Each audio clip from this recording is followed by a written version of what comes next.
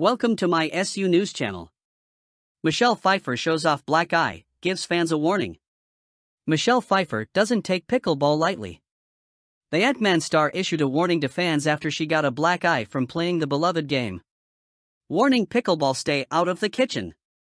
Thank you, Les, she wrote on Instagram Friday alongside a series of photos of herself. Pfeiffer, 65, gave her followers a close look at her bruise, which nearly covered her entire right eyelid. In another picture, she was seen at the scene of the incident icing her eye while still wearing her workout gear and a sun visor. She later added in the comments that her injury was nothing serious. Thank God. Life is sweetened with risk, she continued. In the comments section, the actress received support from her sister Dedee Pfeiffer for seemingly sticking out the game despite her injury. But she kept on playing, Dedee wrote.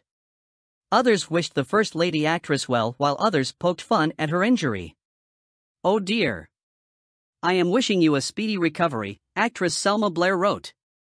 Tell whoever did this that eye for an eye is just a phrase, a fan quipped as another said Michelle should wear an eye patch.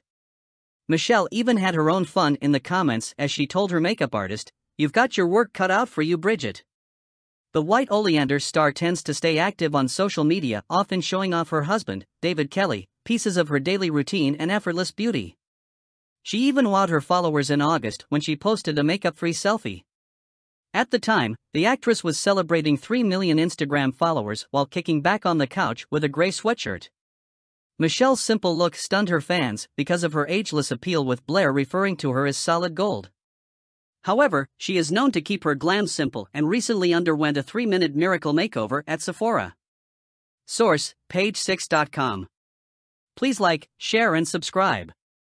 Thank you for watching.